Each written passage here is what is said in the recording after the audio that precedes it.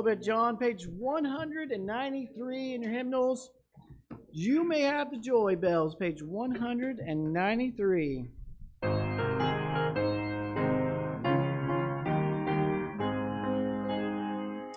You may have the joy bells ringing in your heart, and a peace that from you never will depart. Walk the straight and narrow way, live for Jesus every day. He will keep the joy bells ringing in your heart. Joy bells ringing in your heart. Joy bells ringing in your heart. Take the Savior here below with you everywhere you go. He will keep the joy bells ringing in your heart. Love of Jesus in its fullness you may know and this love to those around you sweetly show. Words of kindness always say, deeds of mercy do each day. Then he'll keep the joy bells ringing in your heart. Joy bells ringing in your heart.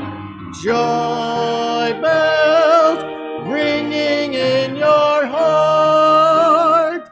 Take the Savior here below with you everywhere you go. Then he'll keep the joy bells ringing in your heart. Sing that last verse. Let your life speak well of Jesus every day. Own his right to every service you can pay.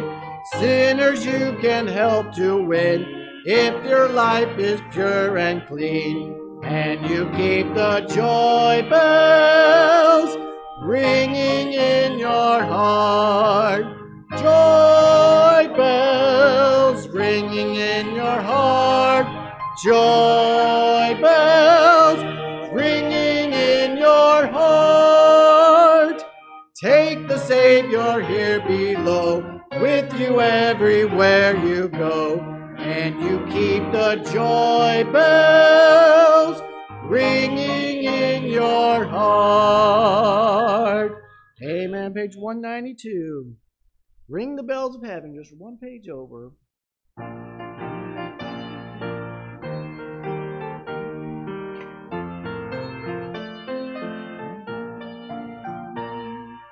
Ring the bells of heaven, there is joy today for a soul returning from the wild.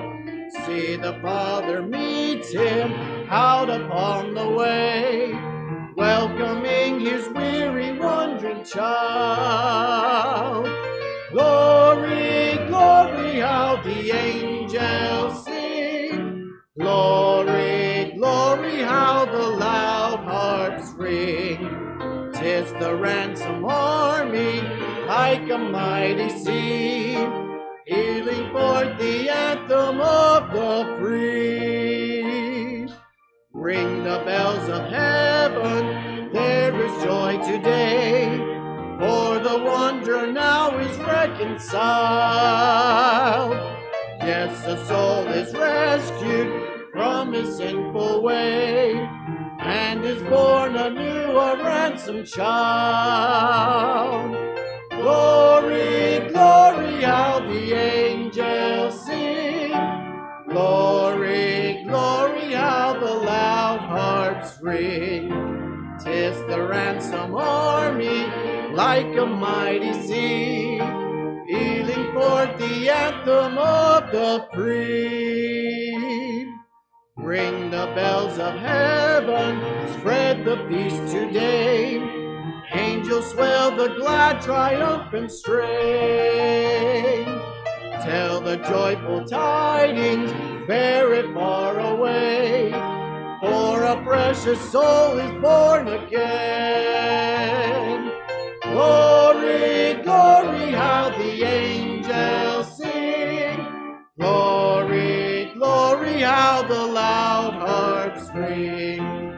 Tis the ransom army, like a mighty sea, filling forth the anthem of the free. Amen. Good singing this morning. Reading from Psalm 121 I will lift up mine eyes unto the hills, from whence cometh my help. My help cometh from the Lord, which hath made heaven and earth. He will not suffer thy foot to be moved. He will he that keepeth thee will not slumber. Behold, he that keepeth Israel shall neither slumber nor sleep. The Lord is thy keeper, the Lord is thy shade upon thy right hand. The sun shall not smite thee by day, nor the moon by night. The Lord shall preserve thee from all evil. He shall preserve thy soul. The Lord shall preserve thy going out and thy coming in from this time forward and even forevermore. Let's pray. Father, thank you for allowing us to be in your house this day. Thank you for your precious indwelling Holy Spirit. Thank you for your word. That's without error. Meet with us today as the, your word is proclaimed. Be with the messenger. And dear Lord, take the message and apply it to all of our hearts. Dear Lord, let us seek wisdom from on above and have a greater burden for the souls around us as we tell them of Christ. We'd ask for wisdom in telling the witness. We ask, dear Lord, you guide, direct, and bless. We ask these things in Jesus' name. Amen.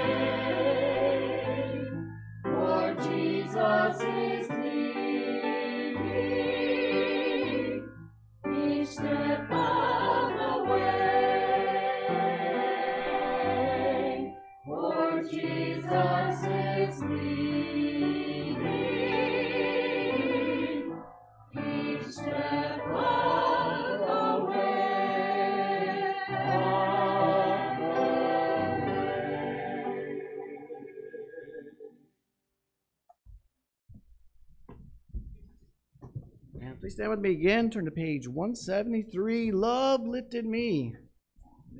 Aren't you glad for the love of Jesus? Page 173. Love lifted me. Sing it out. Sing it loud. Is anybody tired this morning? Anybody tired? Oh, we got one honest person back there. A couple. Here we go. Well, wake yourself up by singing. Page 173. Love lifted me.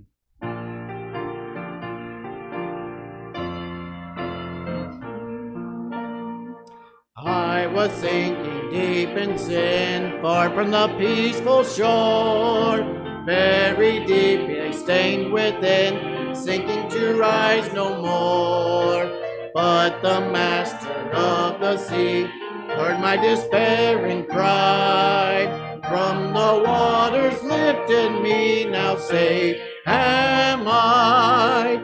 Love lifted me, love lifted me.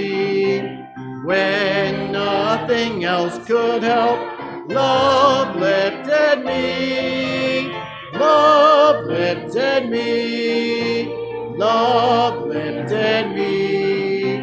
When nothing else could help, love lifted me.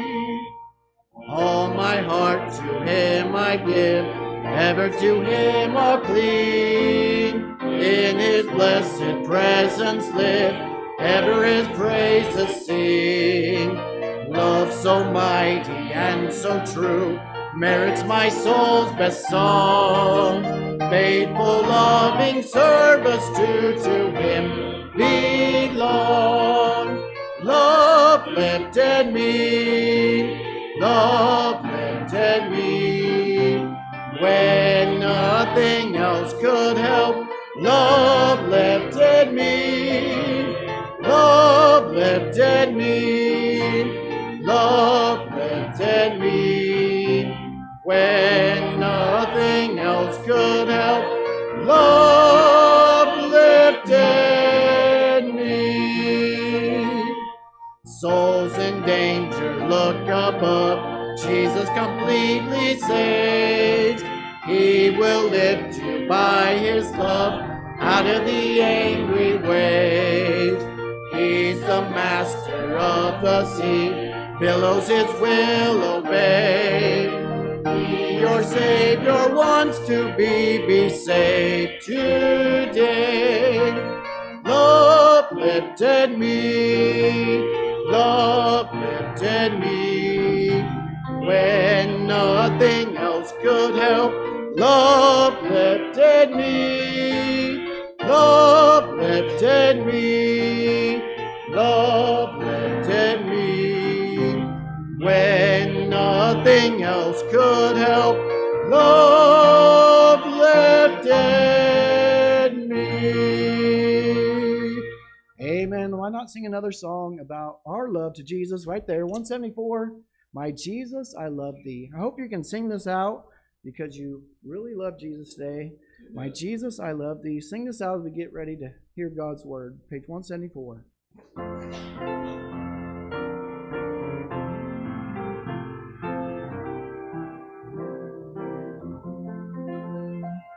My Jesus, I love thee. I know thou art mine. For thee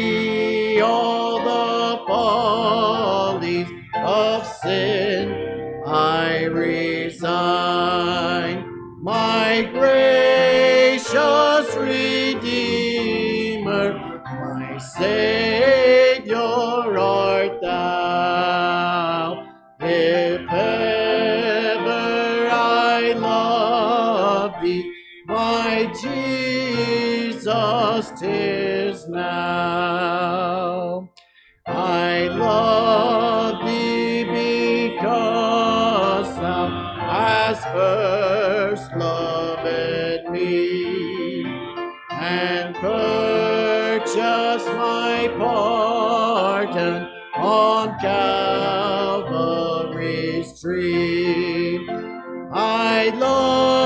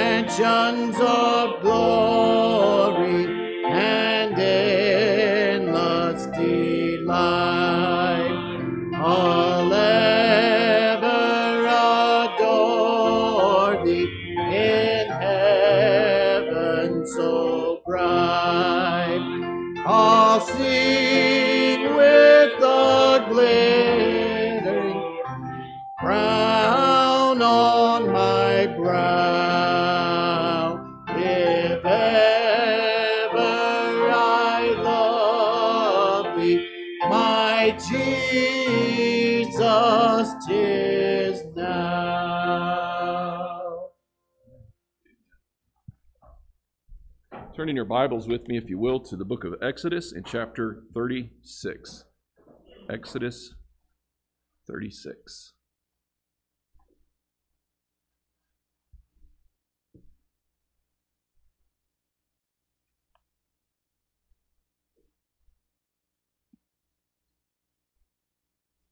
Here are a lot of pages turning. That's good. I'm glad. Exodus chapter 36, and we'll start reading in verse number 1. Then wrought Bezaleel and Aholiab and every wise hearted man in whom the Lord put wisdom and understanding to know how to work all manner of work for the service of the sanctuary according to all that the Lord had commanded. And Moses called uh, Bezaleel and Aholiab and every wise hearted man in whose heart the Lord had put wisdom, even every one whose heart stirred him up to come unto the work to do it. And they received of Moses all the offering which the children of Israel had brought for the work of the service of the sanctuary to make it withal, and they brought yet unto him free wi- free offerings every morning. And all the wise men that wrought all the work of the sanctuary came every man from his work which they made. And they spake unto Moses, saying, The people bring much more than enough for the service of the work which the Lord commanded to make. And Moses gave commandment, and they caused it to be proclaimed throughout the camp, saying, Let neither man nor woman make any more work for the offering of the sanctuary. So the people were restrained from bringing, for the stuff they had was sufficient for all the work to make it, and too much. Let's pray. Lord, thank you for the power of your word, the effectiveness of your word, even today. Lord, it's still true, it's still real, and it's still alive. And we're so thankful for that. And this morning, as we take time to focus in on your word, I pray that we would be able to uh, come to you with a tender heart, with a ready heart to receive what you have for us. I pray that you would use me as you see fit this morning. Lord, I need to be moved out of the way. I need to be uh, just the instrument that you're using here this morning. And so I pray that you would accomplish that and that your name would be lifted up in all that we say and do. And we ask this in Christ's name. Amen. Thank you. You can be seated. After our special, our junior church is dismissed.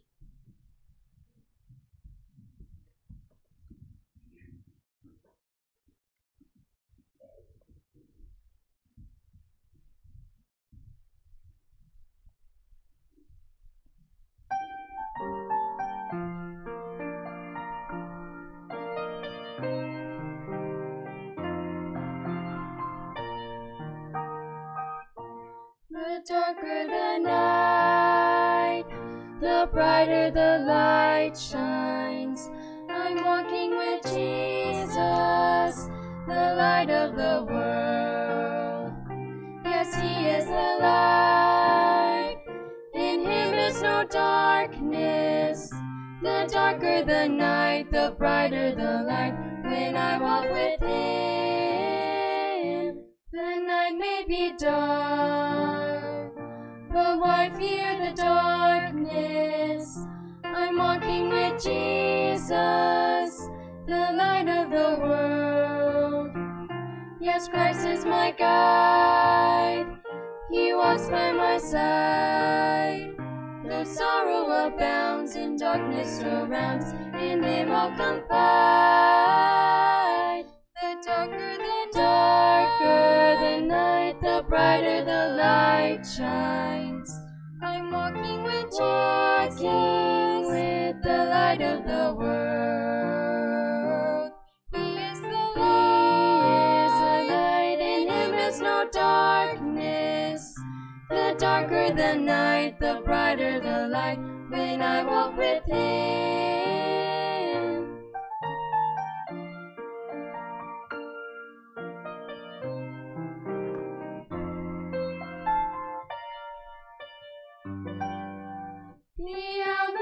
Is dark, but bright is the outlook. I lift my eyes upward, and there is the light. He says, Don't despair, cast on me your care. The forces of night just can't stand the light when Jesus is there. The darker the darker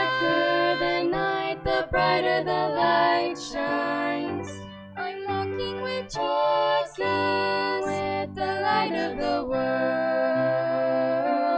He is the is the light, in him is no darkness. The darker the night, the brighter the light when I walk with him. The darker the night, the brighter the light when I walk with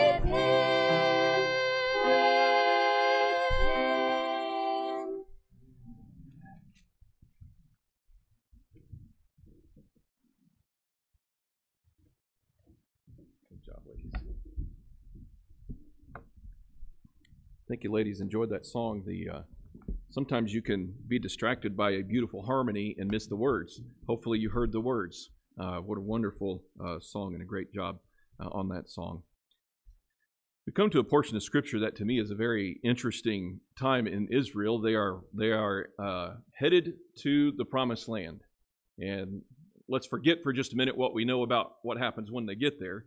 Uh, God is preparing them, and God is doing some great things among them as they travel. Uh, they may complain, they may gripe, but they're still God's people.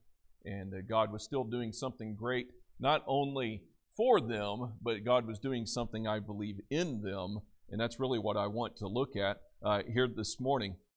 In, uh, in verses 6 and 7, we find a, a very interesting statement, and we find a, a, a great problem a, wonderful problem that every pastor of every church across the whole world wishes they had. Because they were bringing an offering, and I'll get to the offering here in just a minute, but they're bringing an offering, and as you get down, especially to verse number seven, it explains it this way For the stuff they had was sufficient for all the work to make it, and too much. Could you ever imagine a preacher saying, You know what? Y'all just don't need to give anymore. We just got so much money, it's just coming out our ears, and we don't even know what to do with all of it. But that's kind of where we find the, the, the, the people here. They, they gave, but they got to this place, and we'll see what the result of that was here in just a little bit in the last chapter of the book of Exodus.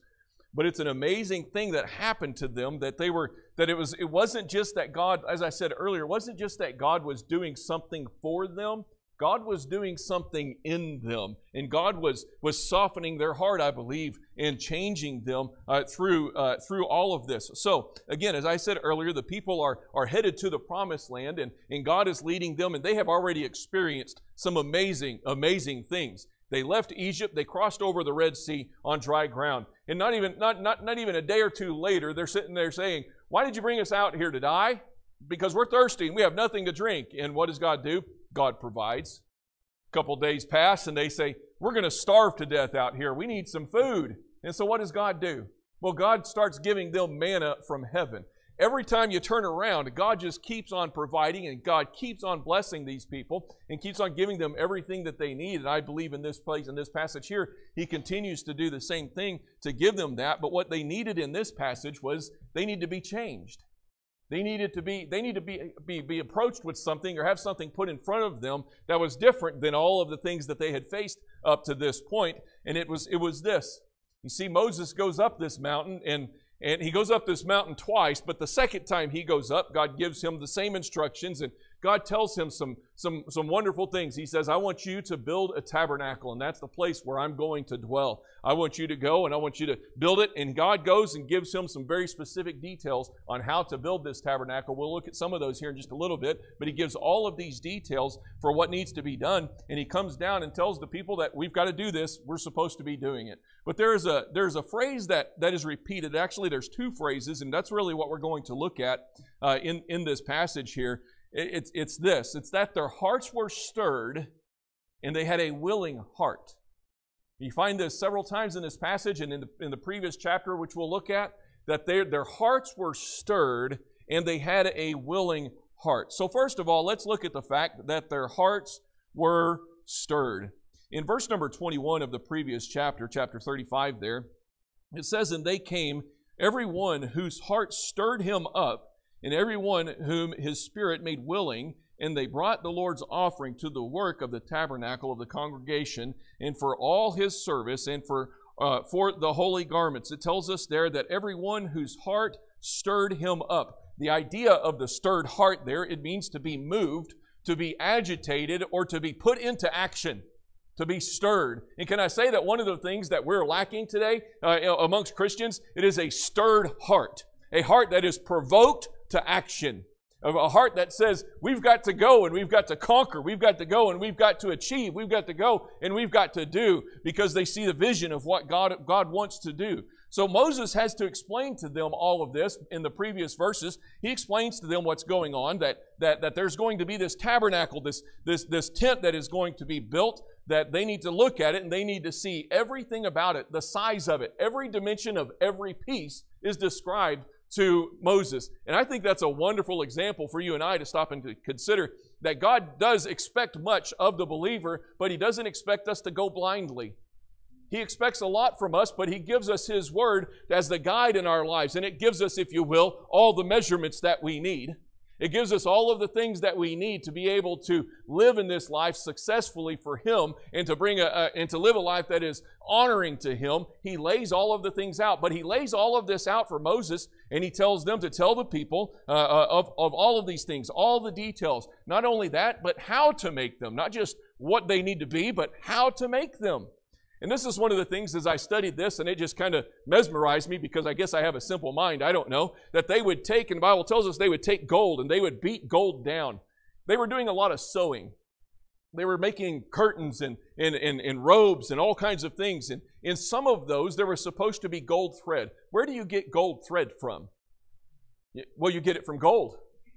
They would take gold and they would beat it down to a place where it was just so flat that it was about the size of a thread, and then they would go through and they would cut that to make a thread out of it. Could you imagine the steady hand that you would have to have to be able to do that? I can't even draw a straight line, much less be able to cut something like that.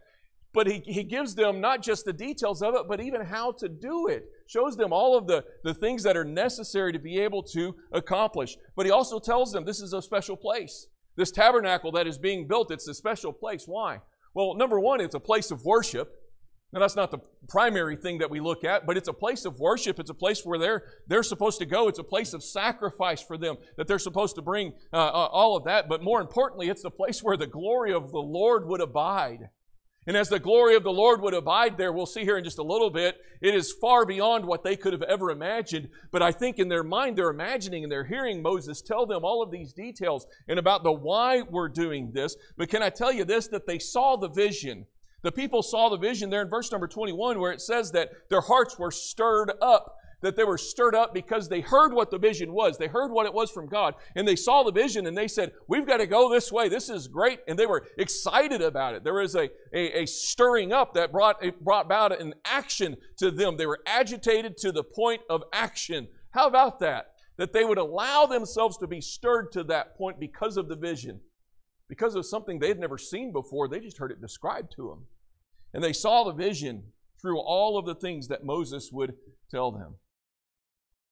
But to build something of this nature, you got to ask one question Where's all this going to come from? Now, if you were to fast forward in Israel's history and say this is the time, let's say 60 years from now, that they are uh, 70 years from now, that they are settled in the promised land, you could say everybody has all this stuff on hand. I mean, there's plenty of stuff there, and we could build this tabernacle. But I want you to keep in mind something here. These people at this point in time are a nomadic people. You know what that means? That means they're traveling, and when you're traveling, you're traveling somewhat light. And so you think of all of the things that needed to be brought, all of the material that needed to be brought. Think of all the gold and the silver. You talk about all of the stones uh, that, that, that are, that are uh, uh, told to bring in, and they're supposed to be put in the curtains, they're supposed to be put on the robes, and all of these things that are supposed to be done. And you think about all of the, the wood, they would use shittim wood in, in almost all of the different things. You think about the Ark of the Covenant, that it was a built, it was built out of shittim wood, and several of the, the, the staves and the different things that they would build. Where in the world are they going to get all of this stuff? While they're a nomadic people, while they're traveling, while they don't have everything that they, they need. Well, they take up an offering that they need to take up. We're going to work our way backwards here just a little bit. In verse number 4 of chapter 35, it says, And Moses spake unto all the congregation of the children of Israel, saying, This is the thing which the Lord commanded, saying, Take ye from among from among you an offering unto the Lord. Whosoever is of a willing heart, let him bring it an offering unto the Lord, gold and silver and brass. And he goes through and talks about all of the things uh, that they would need. He says, We got to take an offering. I don't have all of this, but we're going to have to have an offering. Again, where in the world would a nomadic people get all of this stuff from? I mean, they. You, you remember what the Bible says about when they leave? You can go back a, a few chapters here. Go back to chapter 12. When they left, you remember that they left in haste.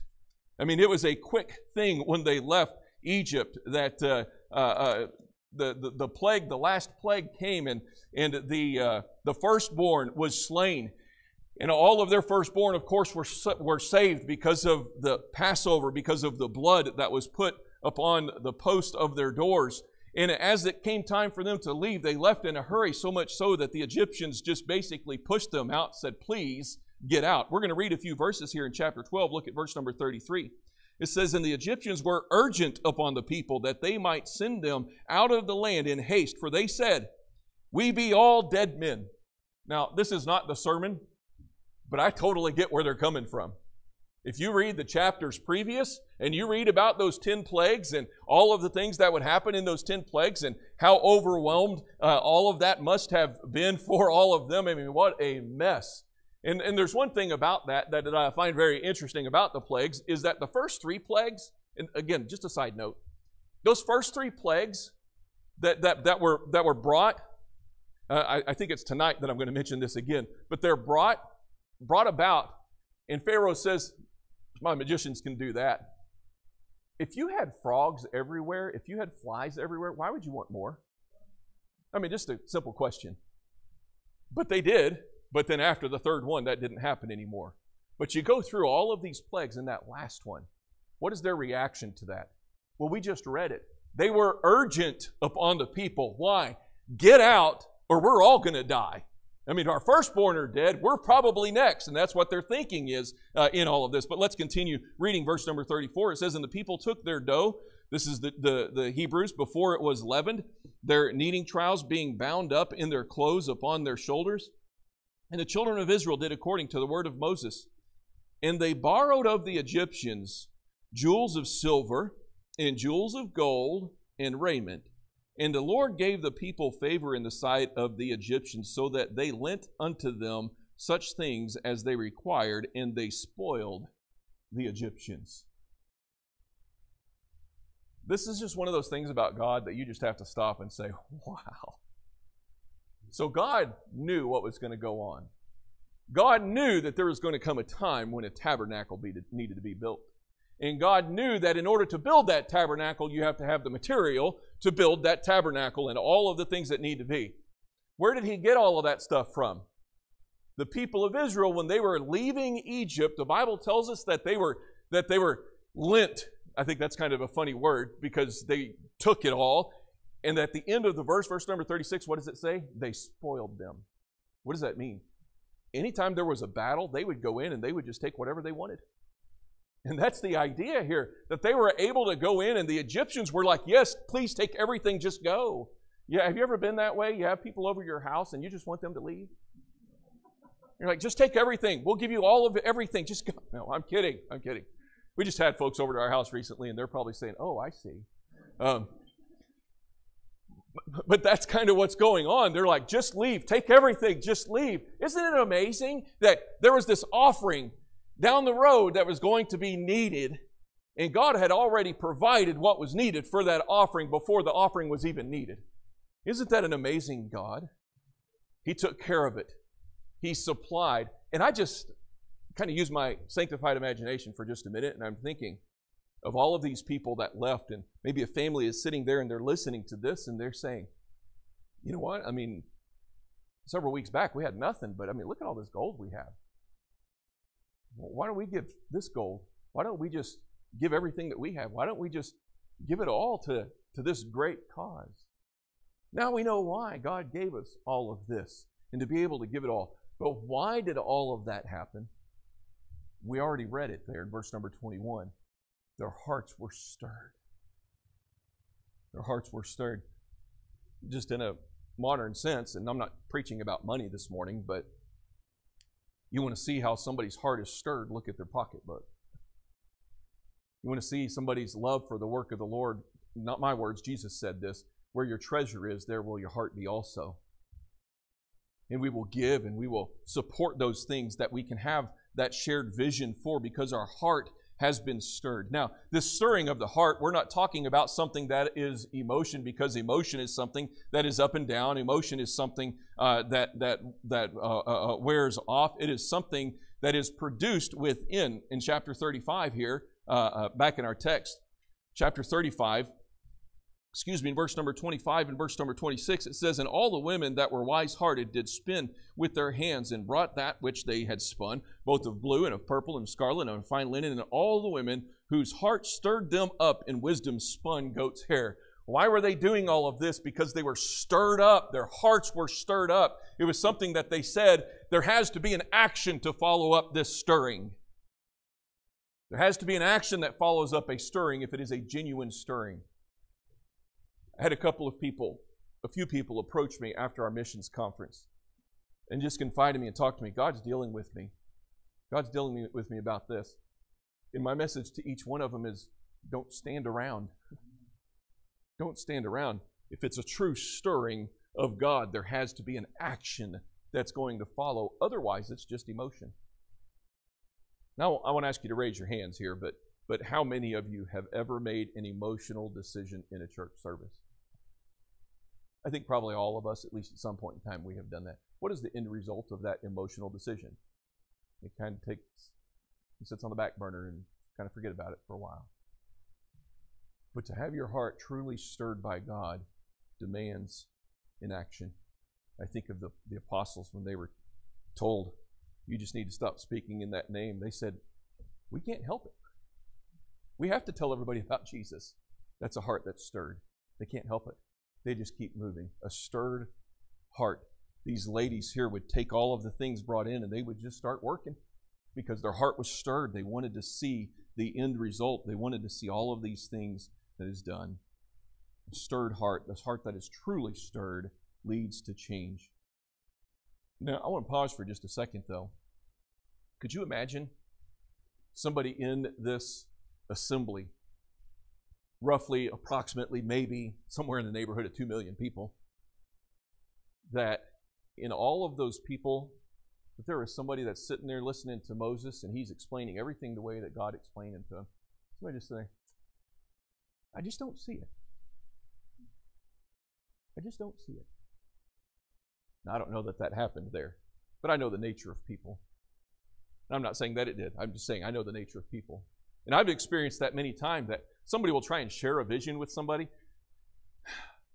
Marriage is wonderful. My wife tries to share visions with me about things she wants to do to the house. And and by the end of the conversation, I don't even know where I live anymore. It's because we speak different languages, you understand. But there's many times that she's telling me about these things, and, and you know what in the back of my mind I'm thinking? She's not seeing it. I'm just not seeing it. In a church setting, there can be a vision to move forward and in goals that are set and a purpose that is planned and in, in a vision that is cast. And I've seen it way too many times that people just sit back and just say, I'm not seeing it. I don't, I don't really see how that's all going to work. What is that? That's somebody that refuses to allow their heart to be stirred. They don't want to have that stirred heart, probably because they know that it demands an action. Maybe there's just the cantankerous ones, the, the naysayers. It's impossible for us to do this. And they start to take an offering. Hey, we're never going to be able to take that much offering.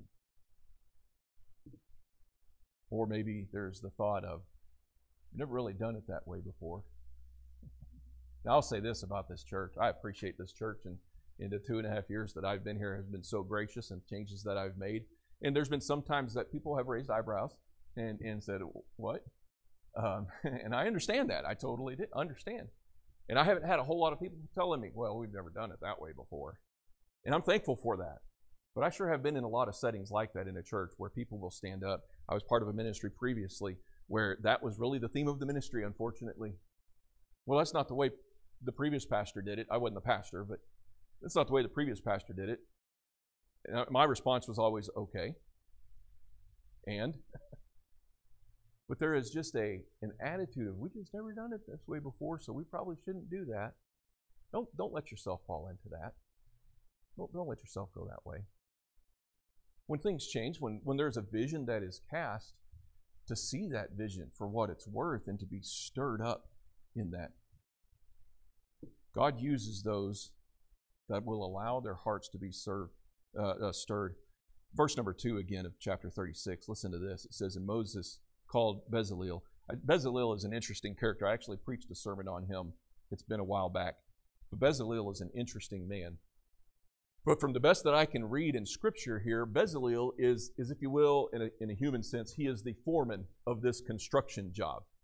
He's the guy that kind of makes sure that everything's being done the way that it's supposed to, but he is also in there doing the work uh, that needs to be done. So think about that. In verse number two again, it says, And Moses called Bezaleel and Aholiab, and every wise hearted man in whose heart the Lord had put wisdom, even every one whose heart stirred him up to come to, to come unto the work. Those last three words to do it. To do it. You see, there was a stirring there that said, We've got to do the work. It wasn't enough to just know how. We know this by reading the, these two chapters here. Bezaleel was a very gifted man. Bezaleel could work with several different materials. Uh, uh, he could work with uh, he could work with gold. He could work with stone. He could engrave. There were a lot of things that he was he could do. He was a jack of all trades. He he was just a good guy to have there as a construction foreman, if you will. But as he was doing this, it was good that he knew how to do all of this. But he needed to use the gifts that God had given him. He needed to put them into practice. And he wouldn't put those into practice until God stirred his heart and he was then he then made the decision i need to be there. I need to be in the in the middle of this. They needed that stirred heart. But also we find in that verse and in other verses here that there was also the heart that was willing. It's good to be stirred but being stirred takes you to the place of being willing. Verse number 22 of chapter 35 it says and they came both men and women as many as were willing hearted what did they do they brought bracelets and earrings and rings and tablets all jewels of gold, and every man that offered offered offered an offering of gold unto the Lord. This only comes after catching the vision and having your heart stirred, being able to see it and say, that's the way that we need to go. That's the direction we're heading. And then to have a willing heart just to get in there and to get involved for whatever, for however uh, it needs to be done. But to allow our hearts to be stirred takes us to the place of a willingness as we read right here in this verse here, first of all, they were willing to give. They were willing to give. They were, they were willing to financially invest, if you will. But I think when you think about the fact that they were financially investing, were they really financially investing or were they just taking what was given to them by God and giving it back to the Lord? Just a thought when we think about finances, when we think about money. Are y'all with me this morning? All right. Y'all are getting uncomfortable. I, I haven't even gotten to the mean stuff yet. The willing heart says, I'm willing to give. I'm willing to give everything that I can. I appreciate the heart of many people in our church that have a heart to give, and they will continue to give. And, and I've never had to tell people to stop giving, uh, but there's been some times when I think you're going to work yourself into the poorhouse by giving so much. And I'm thankful for the heart of people that are just willing to give to the work, to whatever the work is that needs to be done. They were willing to give they gave of their wealth. Look at verse number 29. It says, The children of Israel brought a willing offering unto the Lord. Every man and woman whose heart made them willing to bring for all manner of work. God put that heart that said, This is greater than me. Remember where they got this. Remember where the offering came from, that it came from, from the Lord in the first place, that He he caused the Egyptians' hearts to soften to where they just pushed them out and told them to take everything and that they spoiled them. I said it earlier, but I'll just say it again because Jesus said it. Where your treasure is, there will your heart be also. They were willing to give. But in, in chapter 35, verse number 10, Bible says, And every wise hearted among you shall come and make all that the Lord hath commanded the tabernacle, his tent, and his covering, and his taches, and his boards, uh, and his bars, his pillars, and his sockets, and goes on and talks about all of that. Those that are wise hearted, what is that? Those that God has given the knowledge, the know how, the ability to be able to do all of these things. They were to be there in that God would give them a heart that is willing to give, to work. They are willing to work, willing to give of, of not just a financial, but to give of themselves. And, and then they, were to give, bring all, all, all of the stuff there for the work there in verse number 29.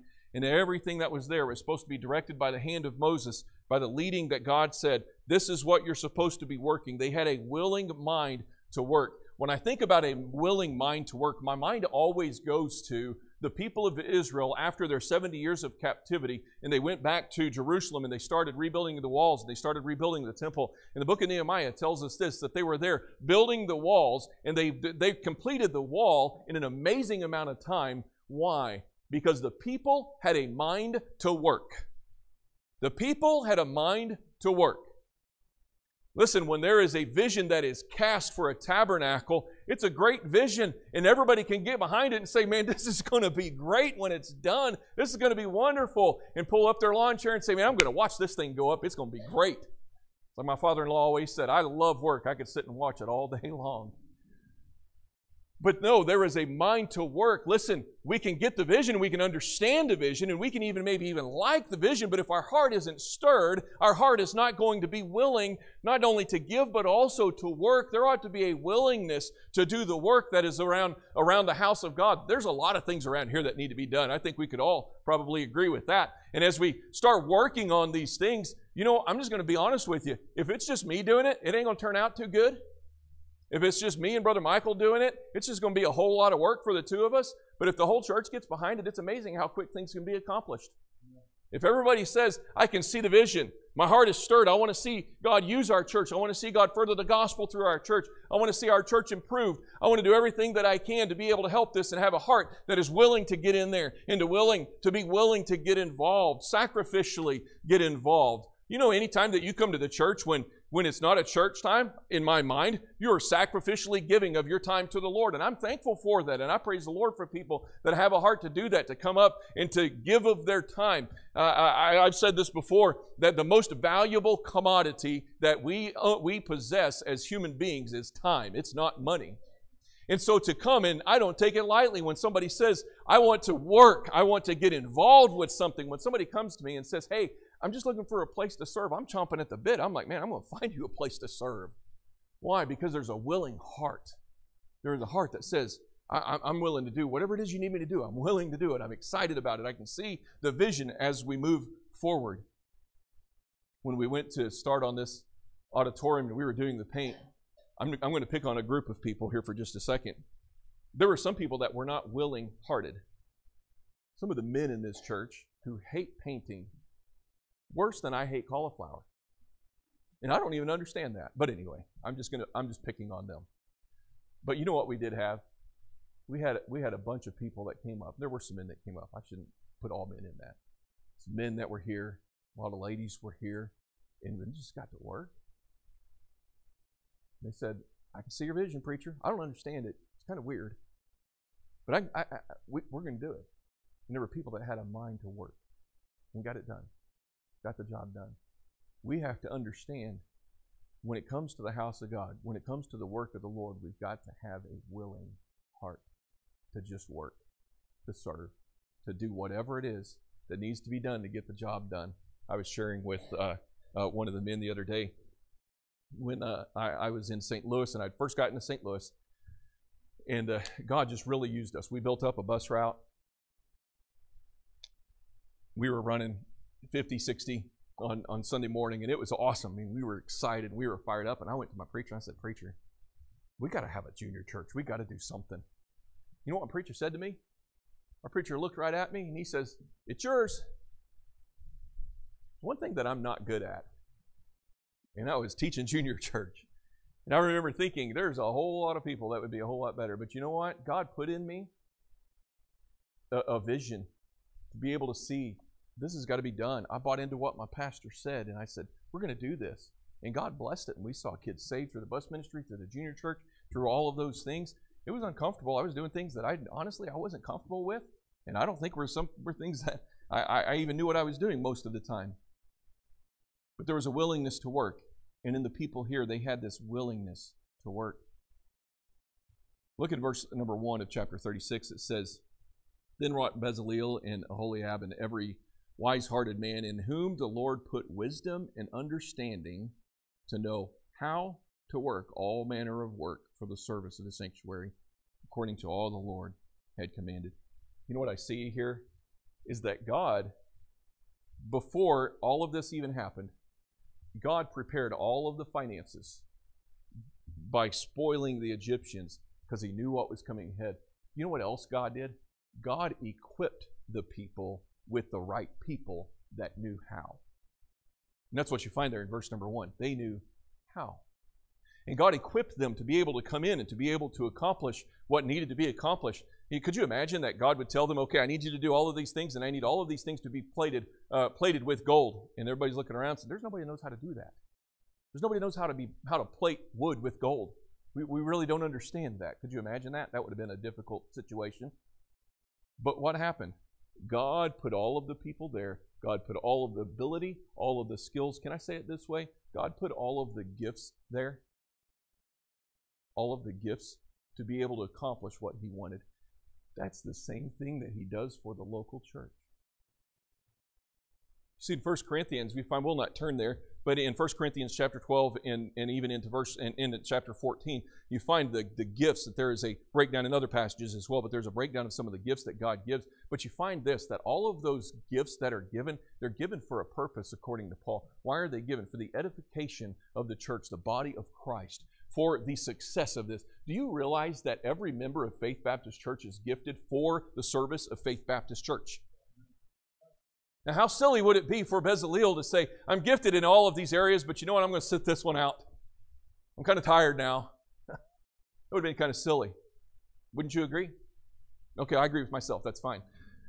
But what we find then is in the modern setting that God has put gifts in the church, and if you do not use those gifts, you're just saying, I'm just going to sit this one out. God has gifted you.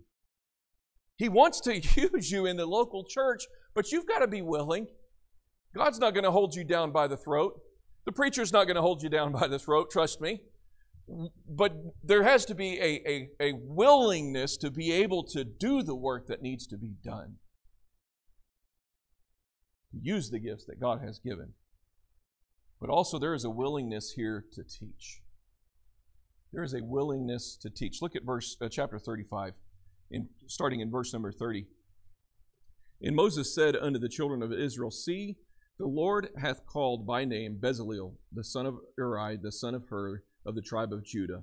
And he hath filled him with the Spirit of God in wisdom, in understanding, and in knowledge, and in all manner of workmanship, and to devise curious works, to work in gold, in silver, uh, and in brass, and in cutting of stones, to set them, and in carving of wood to make any manner of cunning work. Do you see how God has gifted him and, and how wonderful the gifts are and, and for, for them at this time? But look at verse 34. And he hath put in his heart that he may teach, both he and Aholiab, the son of Ahisamach of the tribe of Dan, that they would teach. What are they going to teach? Well, read verses 30 through 33 again, and you're going to see. To teach how to do all of these things, to show some people. So you know, if you just took just one person to do all these jobs, this job was going to take forever. But you know what they did? They taught. They would teach them how to do all of these things, how to do the work of the Lord, how to how to sew, which is the work of the Lord, how to carve in stone, which is the work of the Lord, how to beat gold down, which is the work of the Lord, how to do all of these things, and they were passing that on. They were trying to teach these, these others that did not know how to do it. They were willing to teach them. And I love that the Bible says that, that He put in them a willingness to teach, that they had the desire to put into or to invest into somebody else. There are always need, there's always a need for those that are willing to teach others. To teach others what it is to be a Christian, to teach others how to be godly.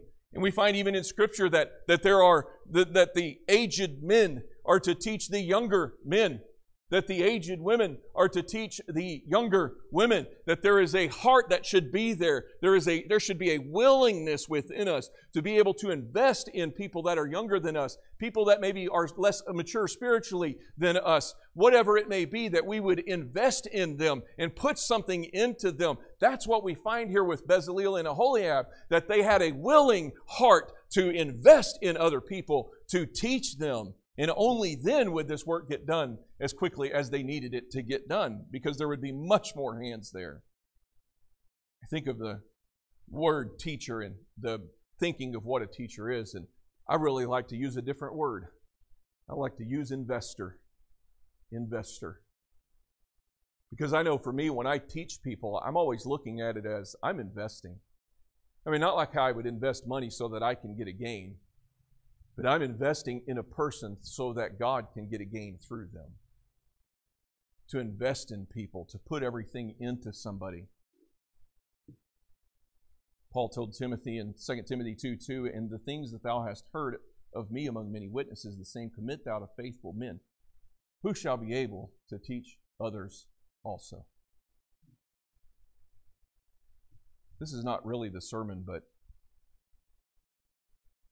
one of the problems that I have seen today is in this area that there is a failure in teaching the next generation. And you know what happens to churches who don't teach the next generation? You die. You die. So there has to be a constant mentality of investing of showing the things of God, of encouragement, of help to point in the right direction. You can't make anybody do anything, but you sure can teach them what the right thing is to do and even how to do that. Be able to point them to the Word of God and to be able to let God do that. Teaching is showing how, not showing to. So, what in the world are you talking about? Let's just um, use for an example tomorrow Uh, I have shop class for our school, and we're going to change oil. I have no doubt that most of the boys have never, they, they don't even know that there's oil in a car, probably. And so I can go to them and I can say to them before class, you need to change oil. Here's why. You need to change it every three to 5,000 miles. Uh, because of the viscosity in the engine is going to end up tearing the engine up if you don't. It lubricates the engine. You really need that in there. That's something that's very key. If it doesn't, it's going to freeze up because of the, the heat and it's going to die. And then you're going to be out thousands of dollars to buy a new engine because you didn't change the oil. Now, is all of that that I said true? Some of you are like, I don't know. It's true. It is true. So get out there and change the oil. Was that really good? That really going to help them any? No. You know what's going to help them? And that's why we have shop class, by the way, because we want to show them how. I want to show you how to change the oil. I want to show you some of the things that you can do wrong when you're changing the oil. I want them to understand all of these things about changing the oil by showing them how. We don't just tell people, you just really need to live by faith. We don't just tell people, you need to learn to trust God. We don't just tell people you need to uh, you, you, you need to walk in, in, in accordance with the Scripture. What do we do? We need to show them how. That's teaching. That's teaching. Not just words, but there needs to be an action that is there. It's not enough to just tell somebody, you know what, your problem is you need to walk with God. How about we show somebody what it is to walk with God? How about we show them how? But in this, if you really think about the verse as we just read there, there were those that were willing to teach. That means that there were those that were going to be willing to learn. There were those that were going to have to sit and listen to be ready to receive the information. One person in Scripture that fascinates me, and especially in, in the, uh, uh, Exodus, Leviticus, Numbers, and Deuteronomy. It's not Moses, although Moses does fascinate me. It's Joshua. I love Joshua. Moses goes up the mountain the first time to get the Ten Commandments. You know where Joshua was? He, he was about halfway up the mountain. When the Lord showed himself in the tabernacle to, to Moses, his hinder parts, you know where Joshua was? He's kind of peeking around the corner. And after it was all said and done, he's like, I'm just going to stay here. Little Joshua. You know why Joshua was so great, I believe? Because Moses and Aaron, I believe as well, invested in Joshua. You know why Timothy was great? Because Paul invested in him. You know why Elisha was, was used twice as much by God as Elijah? Because Elijah invested in Elisha. Listen, we've got to get this mentality of, well, they, they may usurp us, they may end up becoming greater than us. Great. If, if, if we can teach somebody and they become twice the Christian as we are, praise God for that. We ought to be investing, but we ought to have those that are willing to sit and to listen and to say, I don't know everything. Now that's hard. I remember being 17 years old. Those words weren't even in my vocabulary because I knew everything. But then to get to that place to where I realized I really need to be taught. Now I allowed Brother Orrin Cobb, Brother Russ Bishop, Brother Mike Andrews to invest in me. And I'm just going to be honest with you, I would not be here today were it not for those three men. They invested. But I had to be willing. I had to sit still and I had to listen. I had to take in what was needed to be taken in. They were so willing they were so stirred that they had to be stopped. Isn't that something? They just wanted to give everything. And finally, Bezalel went to, and, and the holy Aholiab went to Moses and they said, Moses, you got to cut this off. We've just got to, they're just too willing. They're just too stirred up. I, I couldn't imagine saying that as a preacher. I mean, the people are just too willing to serve. The people are just too stirred up for the things of God. But they were that stirred up that they just overflowed with the giving. I want to take you to the end of this, though. Go to the book, uh, or go to the chapter 40, the last chapter of this book. They followed God's design, and as you go through these the chapters in between, you find the, the building and how they did the things and they took care of things and and they did it exactly the way that God said. If something was supposed to be three cubits wide, it was going to be three cubits wide. If it was going to be nine cubits long, they were careful to make sure that it was nine cubits long. If it was supposed to be gold, uh, uh, uh, uh, uh wood covered in, in, in pure gold, they made sure it was wood covered in pure gold. And they did everything exactly the way that God wanted them to do this. And then I could just imagine chapter 40, you get to the place to where they start setting up this tabernacle and it start coming to, and that vision is being realized. And everybody is just starting to see And I could just imagine the emotion of such an event. They've invested financially, they've invested of their work. And as this is being put up, and they see this tabernacle getting put up, and they're sitting back, and I can just imagine people that are that are not part of the setup crew, they're they're watching this going, and they're like, it's, it's greater than what we thought. I mean, this is the most amazing thing. But just the satisfaction of being able to see that wasn't the best part about it all. It, wasn't just the satisfaction of a job well done. It wasn't the satisfaction of the beauty of it and how great it was. It wasn't just the satisfaction of saying we did it exactly the way that God said to do it. No, we find the satisfaction of it. If you go down to verse number 34, it says, Then the cloud, they get it all built up, and it says, Then a cloud covered the tent of the congregation. And the glory of the Lord filled the tabernacle, and Moses was not able to enter into the tent of the congregation because the cloud abode thereon and the glory of the Lord filled the tabernacle. What an amazing event.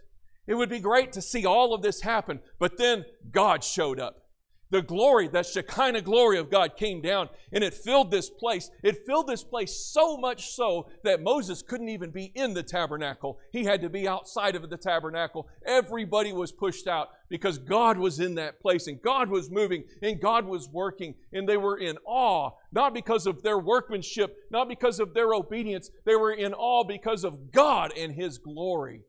You see, when we follow what God wants and we, and we are willing and we are letting Him stir our hearts up and we are involved in the things that God wants to do and God wants to accomplish, it's not, it's not the satisfaction of a job well done or even of our obedience of us doing what it is. The satisfaction is at the end of the day, God is glorified. If there's any other satisfaction, it's temporal and it's temporary and it's worthless. To, to be able at the end of the day step back and say, wow God just showed up. I've shared this with you before, but it really fits this. We were at camp one year, and it was as if uh, our youth group had stone hearts. When we go through Monday night, Tuesday all day, Wednesday all day, and we may have had one or two of our teenagers go down to the altar. I'm thinking, this is not like our youth group. What is the deal? Wednesday night after the service, I called them in. I had three or four counselors, I forget. And I brought them together and I said, Men, we need to go pray. I don't know what's going on. I don't understand this, but something something's wrong. And so we went down to the tabernacle and we prayed, ironically called the tabernacle. We went down there and we got down to that altar and we just started begging God, God, what is going on? God, you've got to move. God, you've got to do something. You've got to, you've got to accomplish your work here. We're wasting our time if you're not working. And we prayed until 2 o'clock, maybe 3 o'clock in the morning. And we were just pouring our heart out to God. God, you've got to do something. That next day in the, in the, uh, the, the service, you knew it. God showed up.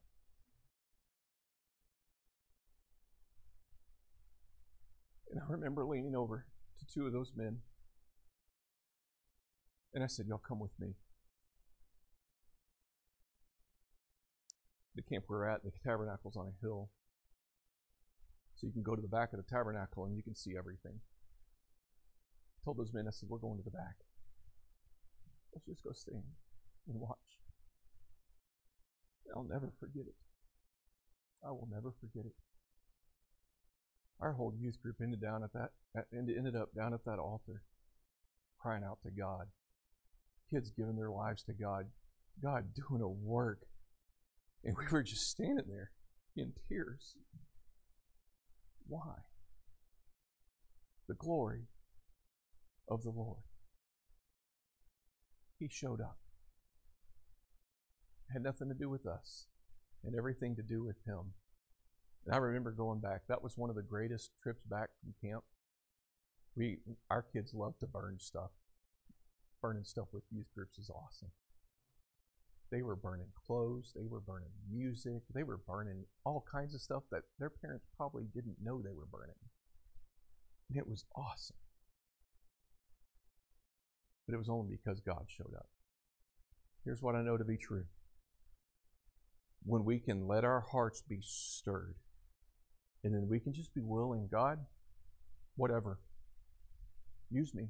If it's to give, if it's to put in the labor, if it's to teach, whatever it is, God, I am willing to do that because our heart is stirred up. Listen, I'm telling you right now, God shows up. And his name is glorified. His work is glorified through you. Wow. With your heads bowed and your eyes closed. Number one, is your heart being stirred? Have you been ignoring the stirring of the Spirit of God in your life? Pushing it aside? Maybe saying, I, it's just a feeling, it's just a gut. You know, when the Spirit of God's working, you need to identify it. It's the Lord trying to stir me up. Maybe you have been stirred, but you haven't got to that place to where you're so stirred that you're just willing to do whatever God wants.